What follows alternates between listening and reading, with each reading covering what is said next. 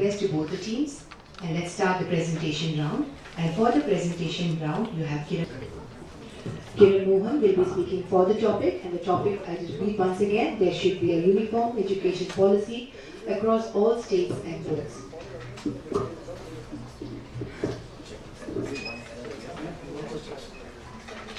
Yes, there should be a uniform education policy across all states and boards. Dear friends, I would like to ask you all, can there be fundamental right to an equal and inferior education? And how much education does India need? And for what purpose?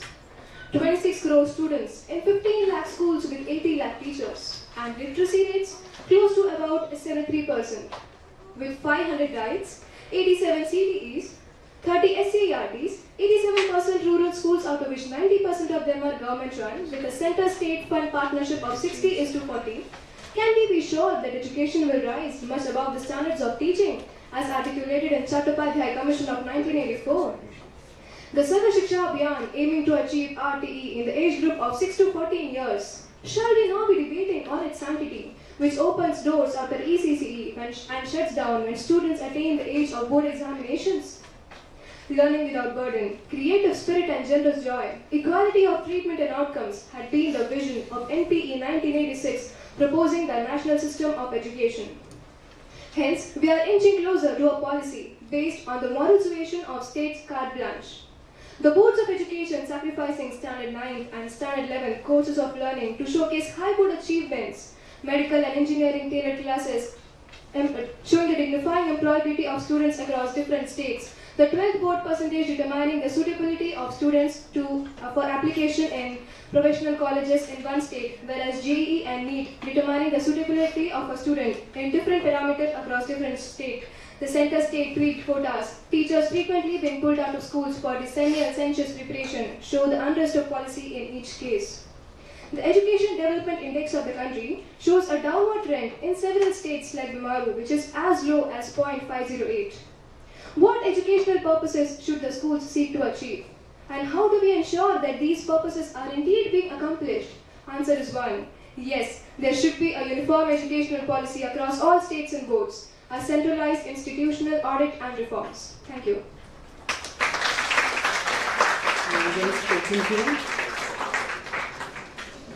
The second speaker is Rajni Kumari and she will be speaking against the motion. A man without education is just like a building without foundation. A very affectionate good afternoon to one and all. Today I, Rajni Kumari, is going to present my views on the topic is there should be a uniform education policy across all the states and boards? Well, I'm totally and absolutely against the motion and I think many of you will agree with me because I believe recently India doesn't require such kind of uniform education policy and it's not suitable for our country. That's why from many years we are following a non-uniform education policy. Now here, the question arises why we are following a non-uniform education policy. The answer is very simple and very clear. Because of the non-uniform education policy, there is a spark of competition among each state and among each students and that leads to the betterment of nation education policy. Now just think, if there will be a uniform education policy, then, then the central government will look after all the 29 states. Then can you think they will care about the unforgotten history, tremendous geography and distinct economic condition of each and every state? Well, I don't think so. And we know that each student has different caliber and different potential power. And if there will be a uniform education policy, then they will all be forced to read same subjects across all the 29 states. And that will lead to the upsurge in the number of dropouts in the country. And then the dropouts will somehow indulge in the anti-social elements. Now let's talk about the super nation whom we used to compare with our country like America, Russia and even our neighboring country China. They're also not following the uniform education policy. So how can you say that uniformity of education is required? And we know that how much they are developed and we are still in the path of development. We now just talk about our economic condition of our country. We know that India doesn't have a very good economic condition because in our country many people are there who are even not getting a single day, single meal to eat. So how can you say they can afford the books, expensive books prescribed by the central board if they will if they will not afford, then the discontinuation of study will be there and that will lead to the downfall of literacy level. So my dear friends and cherished jealous, I think the uniformity of education is not required. Rather, variety of education policy is required because we know, because we know in variety there is a spice. Thank you. Thank you, Rajni Kumari. The first speaker is Sumedh Kamble, who will be speaking for the motion. Educational reforms from National Policy on Education and Kothari Commission has been recommended well. But what happened to the results then? Is it the CCE or CGPA 9 or the administratively favored responses such as teachers don't teach or students don't learn that degrades a uniform policy of integration? My answer lies in two questions and a series of observations which follow. Is it not a cosmetic surgery of the education system? Is it not a quick fix technical solution to achieve the goals of a national education policy? The 25% of admission for the students belonging to economically, economically weaker sections, especially in private schools and in RTE, gave rise to the public-private partnership model, which allows transfer of crores of rupees of public funds to these private schools. But on paper, the students, the children of uh, gardeners, guards and maids are given admissions, but after some time they are asked to leave. The affluent ones then fill the quota. The poorest fifth of the population has a net attendance ratio of 18% in rural and 23% in urban areas. With 85% of funding from the central government, DPEP till date has opened over 14 lakh schools, enrolled 19.77 crore students, but the retention rates remain as low as 67.4%. 4 out of every 10 children who are enrolled in class 1 are leaving before completing class 8 the NGO, uh, the NGO Pratham's annual status of education report 2014 survey reports that over 75% students from class 3, 50% from class 5 and 25% from class 8 are unable to read text from belonging to class 2 nor could they acquire basic arithmetic skills, blessing of para teachers I may say. But now we talk about the Rashtriya Madhyamik Shiksha Abhiyan, the secondary and higher secondary education. Many of the economically weaker sections, especially girls, discontinue. Lack of good teachers, regional disparities, and low academic standards have, give, have contributed to the rise of private schools or the coaching industries, so to say.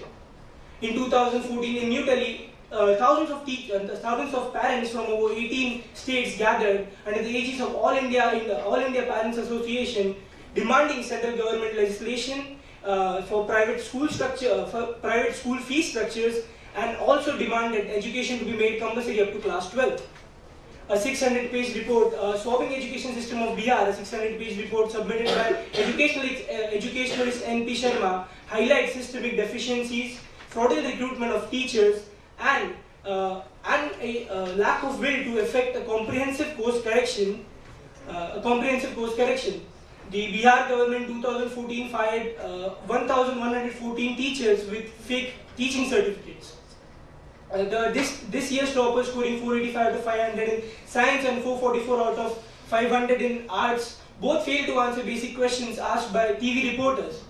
In states where students score centums in mathematics and science fail to score marks in plus 2. The students who score 200 out of 200 in plus 2 fail invariably in the first year of engineering course.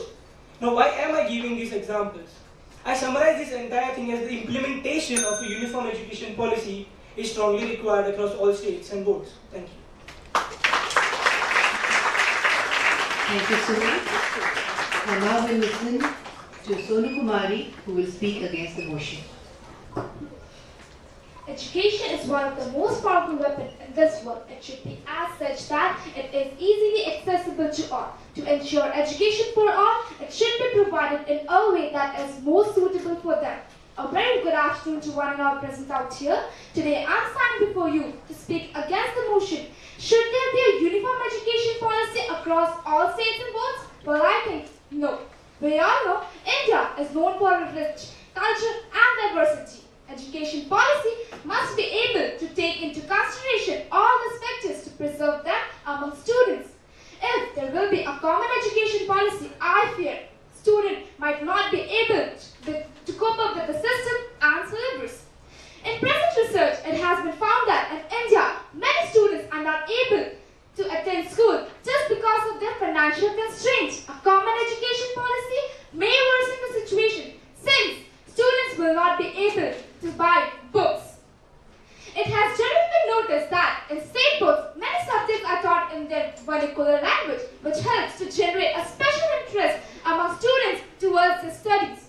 My dear friends, don't you think if there will be a common education policy, students might not be able to cope up with the system and syllabus, which can affect their results and ruin their career, thereby quitting their studies.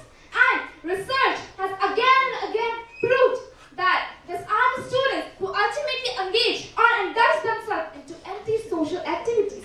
Therefore, in my view, different boards would promote competition. More importantly, different boards would among each other and hence try and become better over their counterpart, leading to a better education system. Keeping all this outcome in mind, HRD Minister Prakash Javadekar said, "Multici- multiplicity of curriculum and educational resources are desirable as uniform syllabus across the nation doesn't take into the contents, the local contents and language. Lastly, I would like to conclude my points by saying that there are numbers of successful Indians like our Honorable Shri Prime Minister Shri Narendra Modi, the Missile Man, Mr. APJ Abdul Kalam, and a lot many more who all were educated from state board school, but still they have contributed a lot for the nation. So, I personally believe that an ideal education system will be where students are exposed to various courses and allowed to choose both according to their comfort and interest. Thank you. Thank you very much, Sonu Kumari. With that, we come to the first round, that is the presentation round. And now let's move on to the next round, and that is the rebuttal round. And for the rebuttal round, we have Pericles team. Pericles team will be posing questions to Emerson team. If the structures of academic nature are architectural models wherein each part functions in coordination with the whole, the main function is to plan curricula with the main and common elements that keep the broad objectives of education at par. Education is a fundamental right under 21A and a fundamental duty under 51A. Can a divided policy on formal and non-formal education to fill a literacy gap help to achieve uniformity in schools? I agree that every student have right to education. If there will be a common education policy, don't you think the state, the normal, um, I think, poor students whose parents are not able to uh, spend that money, how much our parents are able to spend money in our school, don't you think they won't be able to attend their schools? So many students in India goes to school um, like where midday meals are provided. Parents send their children thinking that at least they will get some midday, one day meal for them. And there are numbers of students from that school, even uh, who are studying in abroad, who are cracking the exams of IIT. There are numbers of examples. How can you say that only uniform education policy will help in this? I hope she has answered your question. The second question be a There cannot be a counter argument.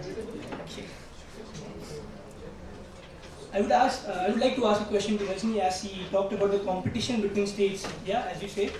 So according to the EDI ranking prepared by NUEPA, that is the National University of Education Planning and Administration, on the basis of statistics collected by District Information System of Education on access of schools, teachers, infrastructure and other outcomes. So the EDI achievement of some states are as high as 0.72, per, 0.72 whereas the other Bimaru states which include Rajasthan and some other states, even Jharkhand, which has a EDI of 0.45%. So is this the key given to the states to discriminate in terms of uh, the regional disparities? So is this the competition that you're talking about? Because this difference is a lot, depending, depending on the student learning on these different states. So what do you have to say about that?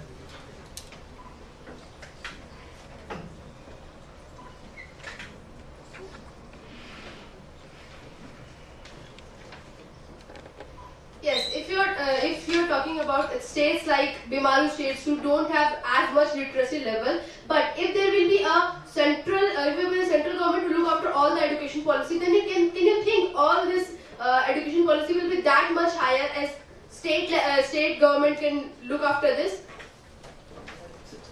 She can, you can continue answering the question if you feel you need to put a little more. You have one more minute to.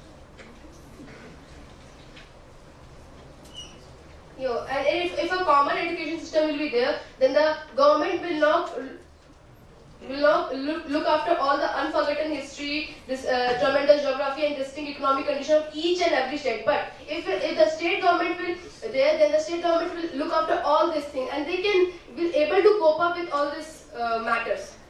I think. As we know that India is a country with lot of diversification and right now I want to focus on language.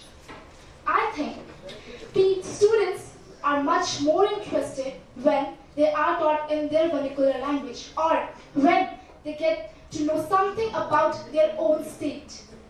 They give special interest towards their studies when it comes to their own country. While studying history, mm, when uh, we all are asked to uh, study the history of like British and all, we doesn't pay that much attention. But when it comes to our own country, India, we give special interest towards our studies and we are able to understand things much more easily. My dear friends, don't you think if there will be a common education policy, um, like we all know, in India only 40% of people know, sorry, yeah, people knows to talk Hindi or English. 60% of people talk in their local language and they prefer their local language much more. Why is it? Answer? Yeah. The very statistics you give that 60% of people prefer to uh, communicate in the local language is the very reason that there should be more emphasis given on English as a language. Because one, English is an international language and your inclination, as you said, that uh, students are inclined to learn in their native language. A, stud- a, a student who is age 3 knows to speak well in his mother tongue. Okay, so imparting uh, their local language education up to class 5, but after that there is a necessity to incorporate English as a language in the curriculum to, uh, to carry forward that education so that a, a student is fluent in the international language. So for taking the example of China for last year, you have seen that China had for the last decade a very large number of uh, man people's force population, but the IT sector developed in India. The very reason was that Indian youth was accustomed or uh, was used to uh, speaking English. They could communicate with a client sitting in US or UK or Canada, wherever you say. So the yeah, for you saying that it is good for students to be taught in their native language in the elementary early stage of elementary education, but English should be given the emphasis that it requires. Thank you. Yes. The second question from Team Emerson. Um, I think uniform education policy will kill the spark of competition among the states and among the state students. And that will lead to the lackadaisical attitude of the central government. So, what's your opinion about it? How can you say that it will bring a spark? Like if, if there is a uniform education policy where the state itself is controlling the education system of all, where the center itself is controlling the education system of all the states. In fact, there will be a good competition, there will be a healthy competition for the states to, uh, you know, increase their level of And see, we are here talking about uniform education policy. That does not means uh, that does not mean that we are against decentralization. Okay, the state itself cannot take care at, uh, or schools running at the grassroots level. But what we are here speaking for is that the central should have a check on the states, states which will take care of the schools running at the grassroots level. So the state should not be given the carte blanche to do whatever they want, whereas the central legislation should have a tight check on it. Shashi Tharoor also in 2013, I believe, he was giving a TED talk. He says that uh, he was speaking about RTE. He said that if a student is not in school, it is the state's fault. I feel that the, that uh, fault should be taken up to the central government, the whole government itself. Because I said RTE is a fundamental right. It is not just uh, something that the state should uh, only be concerned of. It is a concern of national development. Well, with that, we come to the end of the second round, the rebuttal round, and now over to the judges round. Your answer. So this is saying, last but not the least. In my case, last will be the least. So I'll speak the least in this round because there are other experts. I just have two questions. First, you know, I was personally really awaiting for this face-off. You know, both these teams are outstanding, outstanding. You know, I just fantastic. I mean, you have really raised the bar of this debate by having these two teams here. and whichever team is going to finally win, I don't know. It's going to be very tough. Let me tell you, the other team would have, the losing team would have just lost by a narrow whisker. Okay, because it's so tight, and you know, you guys are just you know have sources and data on your hands. Uh, and these girls, I just you know love their attitude. Their and I can't imagine that in one hour you all have come up with this kind of you know discussion topics. It's absolutely fantastic.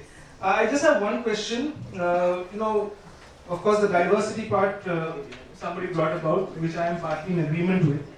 Uh, but what room do you think that a single uniform policy has for innovation? Today we're constantly talking about you know how to use, uh, and that's how we spoke about technology. But my only question to both teams is, what room is there for innovation, either with regard to a uniform policy or with regard to lack of a single policy? If there will be a common education policy, students, every students will not be able to attend schools. We all know that. There are some poor students who are not able to get a single midday meal. How can they afford the schools who are such very expensive? State board schools are relatively less expensive than central board schools. We all know that.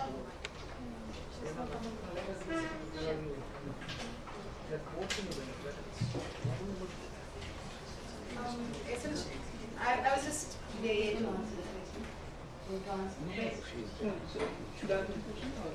It's like, again, it's a, discussion. Is it, is it about the policy? That's why you have to read the title. You're talking about the board. If it is a policy, the policy is expected to, to take care of the disparities, which in the poor will have the same education. So that clarity is important. Like for example, yes, regional language, state, uh, diversity, appreciating the cultural diversity is important. But at the same time, we are in such a situation where you complete your schooling here and you move for higher education somewhere.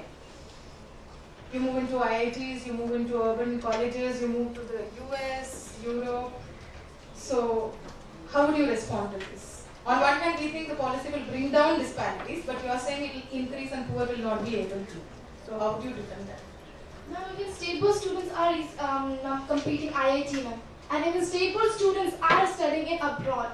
It doesn't mean that state board students doesn't, there are some core content. Even state board students knows how to speak English. It doesn't say that state, uh, the students who No, no, are studying. about- It's not about English, it's about the disparity it brings in. It's not about And there is English. content. So, anyway, I, I was just saying to Rohan again, this would have been a, a topic for teachers to debate. it's, it's really, it's, it's, it's, it's a challenging topic for, but then you just kept your, uh, you know, spirit and did the debate. It, it, it would have been an apt for teachers. So, this is about uh, Sumedh, the way he was. I started, usually maintain a mute face, but the way he came out with source one, source two, I, I, I couldn't control my emotions. So it's like well read and well researched and you And in a short four, time, yeah. in a short time, fantastic. So fantastic. appreciations to all four of you. No, not the expert. Not the expert, the expert. I'm not an expert. Uh, see, actually, the whole uh, idea, I think this in this uh, discussion, uh, instead of you know going by a very strict meaning of the term education policy, uh, the right thing was keeping the spirit of this term policy in mind, which you have done successfully. So I think there's no need to get into a technical definition of what constitutes a national education policy, but the spirit of the term, that you know, some kind of uniform uh, prescriptions or uniform standards, which I think you have comprehended fairly well. And I am kudos to you for that. I mean, the standard, the tone of the debate, data driven, with very logical arguments. I mean, I want to uh, congratulate this team for the data driven approach and this team for the logical approach. So, excellent fantastic. fantastic. So, again, uh, uh, just again, you know, I like to always bring the generalities down to the specifics. And uh, the thing is, you know, we have so many different boards uh, in our country. We have the CBSE board, we have the ICSE board, we have different uh, state boards. They have their different ways of marking. Okay, so sometimes uh, I believe that you know there are uh, marks given by some state boards which are very very uh, high. You know the th- they're liberal in their grading, and other other boards are you know more strict in their grading. So it does sometimes create issues of of uh, comparability. So uh, you know, so in that sense, should there be one uniform standard of grading and assessment? That is uh, uh, my uh, first question. And the second question is about the curriculum. Do you feel that, see now we have this whole issues of outdated curriculum, you know, all those questions uh, come about. Okay, we feel the need to have a more internationally competitive curriculum. But at the same time, as this team has beautifully pointed out, the contextual different, you know, the contextual uniqueness must be kept in mind. A certain state might be a tribal uh, state. They have their unique uh, cultural history which should be incorporated into the curriculum. So, do you feel that there should be some uh, prescription for uniform curriculum? So, my two questions are one is about the assessment and grading, the second is about the curriculum. So, briefly, can I hear from both the teams on your take on this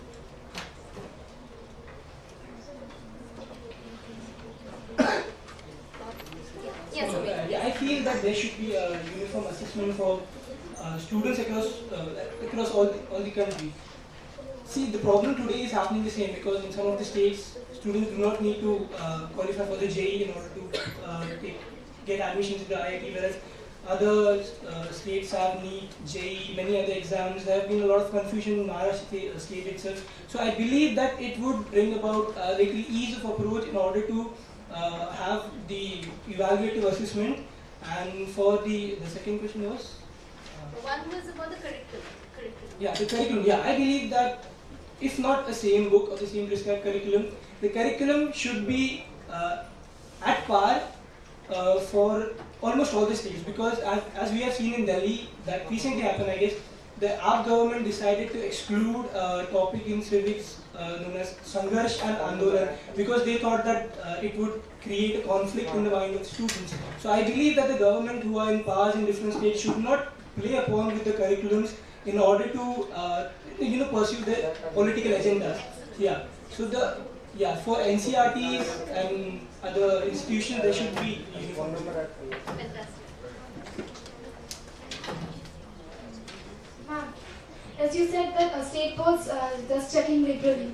It's not the fault of school. If state boards government will be strict regarding this, everything will be fine, ma'am. There won't be any problem. Uh, if the government would uh, try to do it much more easily, it depends on uh, every state how they do.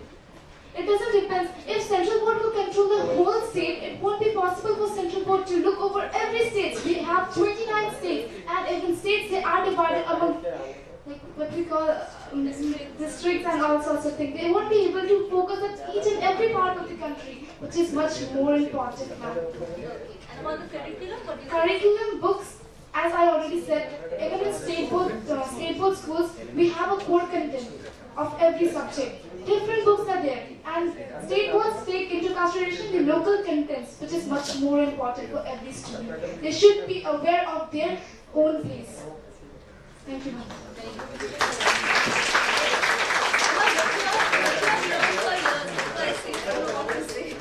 A big thank you to all the four uh, participants. And after the judges have finished. Judges are in a big dilemma. I Big I can dilemma. understand, I can understand. Just don't. Judges are confused. For the first time today, they're confused. There was no debate here. Yeah, so now the debate is shifted here.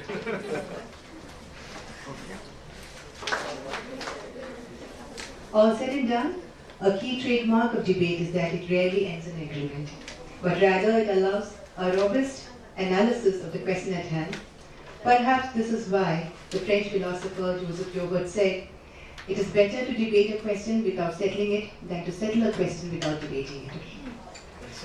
We had a wonderful time listening to all the debaters, and I hope the result, of course, is a big secret that will be I request Kilani sir to give away the prizes to the senior group winners.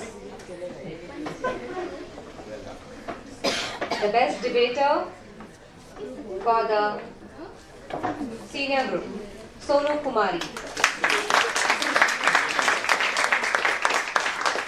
Sonu Kumari from AECS Jaduguda. The second prize has been backed by Emerson, Rajni Kumari and Sonu Kumari from ACS2 Raghuram.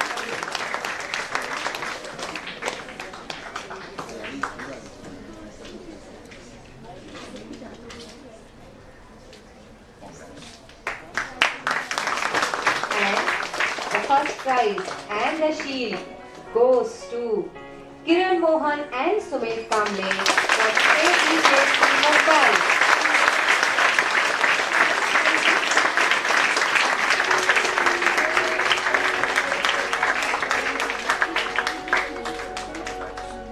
Congratulations to all the winners.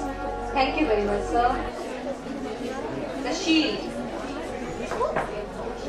Senior group, the first prize been backed by Kiran Mohan and Sumedh Kamble from AEJC Mumbai.